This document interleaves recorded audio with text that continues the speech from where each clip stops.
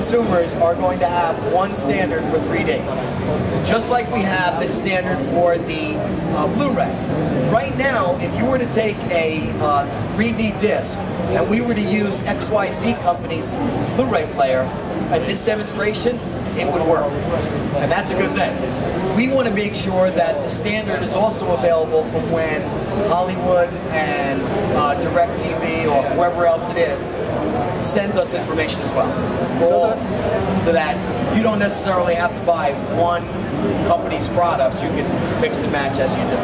Okay, which is something that consumers always do.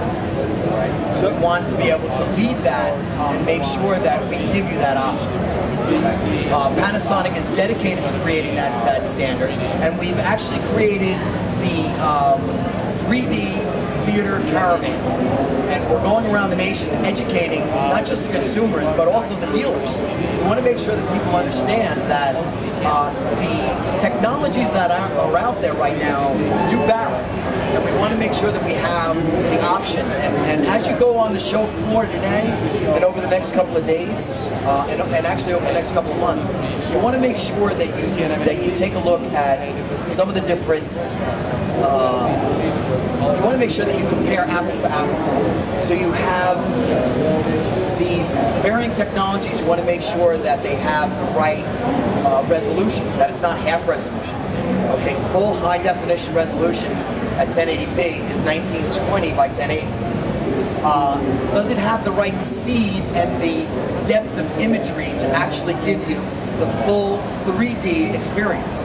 Or is it just something that resembles some kind of 3D image? Okay, it needs to be a full 3D HD. And that's very important that you want to be able to go ahead and, and, and experience that full capacity. All right. So with Panasonic, again, I'll reiterate that we've established that technology that we're able to go ahead and create this processor, this high-speed processor, the UniPhier LSI chip, which allows you to actually go ahead, or allows the system to process this high-definition 3D content, and it's able to change the phosphors on the on the plasma very quickly. So you see no color degradation, you see no motion